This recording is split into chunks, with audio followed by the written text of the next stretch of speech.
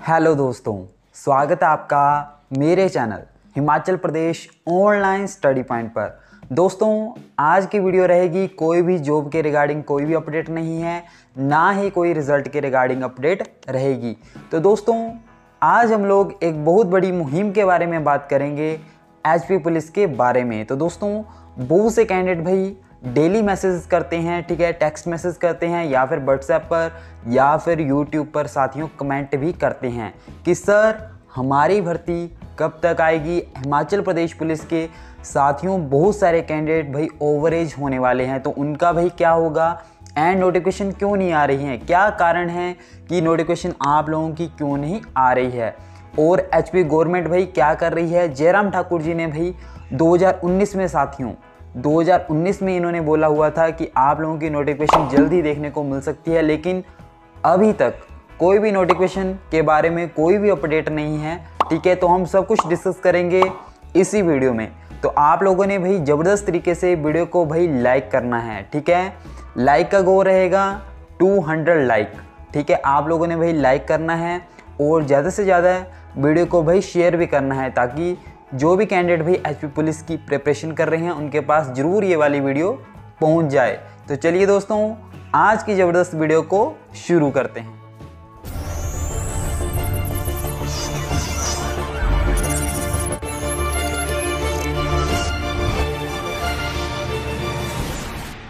दोस्तों, इसी के साथ मैं आप लोगों को भाई बता देता हूँ एच पुलिस के रिगार्डिंग हमारे साथियों पेड ग्रुप चले हुए हैं, ठीक है?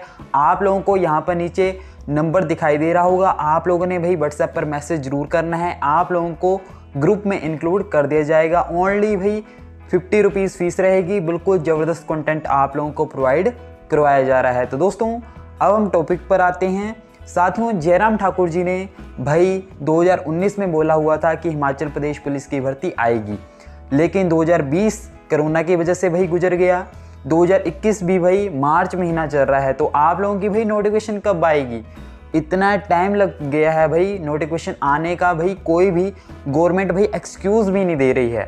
ठीक है, नहीं तो कोई ना कोई इनका मंत्री होता है, वो कुछ ना कुछ तो भाई बताता है, लेकिन इन्होंने कुछ भी नहीं बताया है। कल ही दिन में, ठीक है बजट पेश हो रहा था तो साथियों, उसमें उम्मीद थी कि ये कुछ ना कुछ भाई बोलेंगे।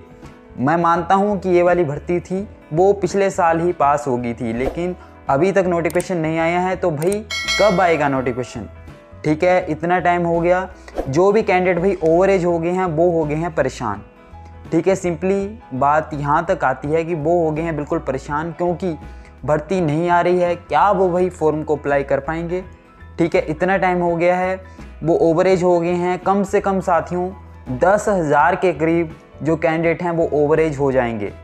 अगर 2019 में भर्ती आ जाती, तब बहुत से स्टूडेंट भाई अप्लाई करवाते। ठीक है? आप लोग मेरी बात को ठीक है समझ पा रहे होंगे? तो काफ़ी स्टूडेंट भाई बिल्कुल आक्रोशित हैं। ठीक है? जिस प्रकार गवर्नमेंट भाई बिहेव कर रही है। तो बिल्कुल जयराम ठाकुर जी की सरकार को भाई कुछ ना कुछ तो जवाब देना पड़ेगा कि हिमाचल प्रदेश पुलिस की भर्ती कब तक आएगी? ये कुछ भी नहीं बता पा रहे हैं। बजट भी आ गया सब कुछ आ गया लेकिन इन्होंने कोई भी इसके रिगार्डिंग साथियों कोई भी न्यूज़ अब मेनली बात भाई यही तक आती है कि आप लोगों की नोटिफिकेशन कब आएगी।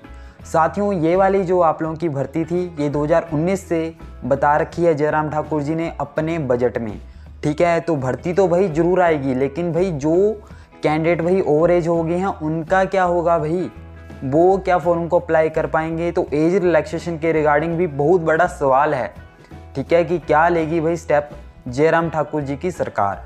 तो दोस्तों, अब तो मैं आप लोगों को बता देता हूँ, भर्ती तो आप लोगों की आने ही वाली है। तो भाई कहाँ पर रोक आ रही है? कि क्यों नहीं आप लोगों की भाई भर्ती आ पा रही है? साथियों इंटरव्यू के रिगार्डिंग अभी तक इनका कोई भी निर्णय नहीं आ पा रहा है। कि इंटरव्यू लेना चाहिए या फिर नहीं लेना चाहिए। तो दोस्तों, अब मैंने भाई अपने स्टूडेंट से बात करता हूँ डेली जो हमारे भाई डेली के स्टूडेंट हैं, वो बोलते हैं, सर नोटिफिकेशन आ जाए बस। ठीक है? नोटिफिकेशन आ जाए, बाकी ये करते रहें, जो इन्होंने करना है, ठीक है?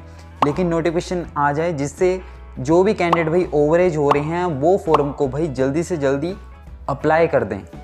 ठीक है? जब फॉर्म अप्लाई हो जाएँगे, फिर कोई घबराने वाली बात नहीं रहेगी। स्टूडेंट अपनी प्रिपरेशन भाई कर सकते हैं, उनको कोई भी इशू नहीं है। ठीक है? इंटरव्यू हो या फिर नहीं हो, ठीक है? इसमें कोई भी इशू नहीं है, ये गवर्नमेंट खुद देख लेगी। लेकिन साथियों, अब आपके भाई ऑनलाइन फॉर्म अप्लाई तो होने चाहिए। लेकिन मेरा मानना ये है कि आप लोगों के ऑनलाइन फॉर्म इसी मंथ स्टार्ट हो जाएँगे तो आप लोगों ने भाई घबराना नहीं है।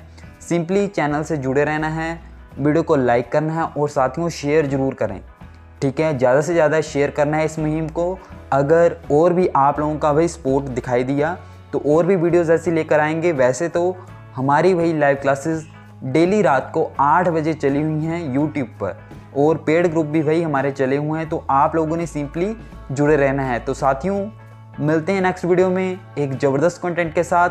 आई होप आप लोगों को वीडियो बिल्कुल पसंद आई होगी। आपकी बहुत ही रिक्वेस्ट करने पर, ठीक है वीडियो लेकर आए हैं तो आप लोगों ने भी अपना सपोर्ट दिखाना है। तो चलिए दोस्तों, मिलते हैं नेक्स्ट वीडियो में।